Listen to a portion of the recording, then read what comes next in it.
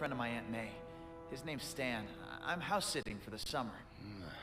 I don't know about this. Well, the other option is going back to the lizard's lab. In the sewer.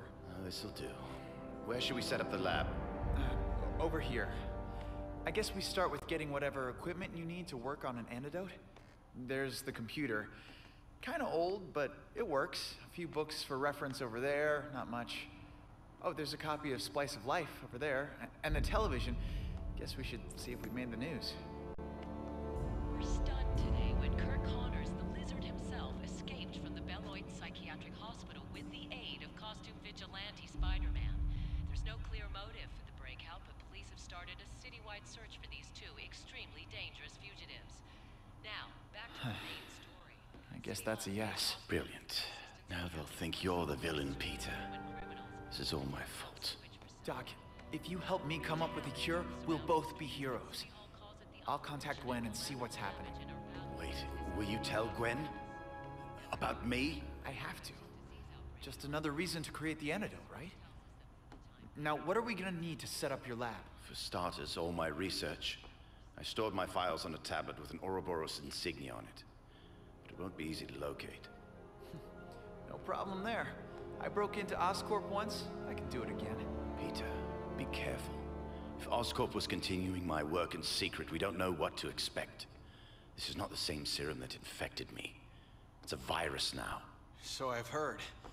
So, ready to play God? You do remind me of him. Your father. Oh, uh, Gwen's calling.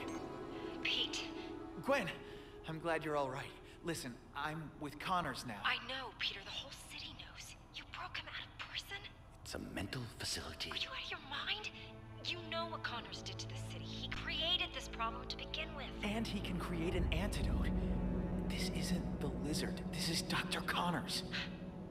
Can he bring my father back? Gwen, I trust you, Peter, but I can't trust him. I'm sorry. I had no choice, but he's the key to getting you better.